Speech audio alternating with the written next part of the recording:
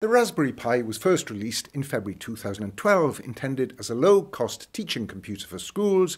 The original even had a TV output as well as an HDMI monitor socket. Over the years, it's evolved through five generations to be a far more powerful general-purpose computer module, which still has the same credit card-sized footprint as the original. Over 70 million units have been sold. One of the reasons for its popularity is its easy connectivity with external hardware, motors, switches, LEDs, alarms, and so on, via the 40-pin general-purpose input-output header. There are three main variants of the Raspberry Pi. First, there's the standard version, the latest being the Raspberry Pi 5 with version 6 in development.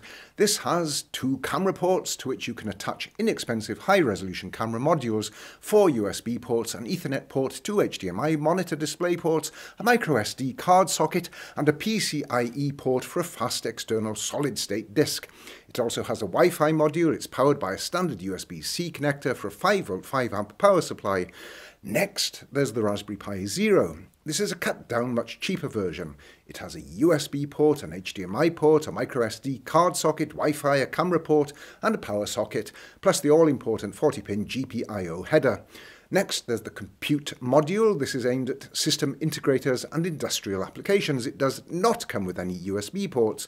All peripheral input and output and video connections have to be added via 200 pin connectors. Lastly, there is the Raspberry Pi Pico. This is a microcontroller board designed around a proprietary chip not the Broadcom CPU used in the main Raspberry Pis. The standard operating system of the three main variants of the Raspberry Pi is a version of Linux Debian Raspberry Pi OS, but this does not run on the Pico. Here you would have to run either without an operating system at all, or use a real-time operating system such as FreeRTOS.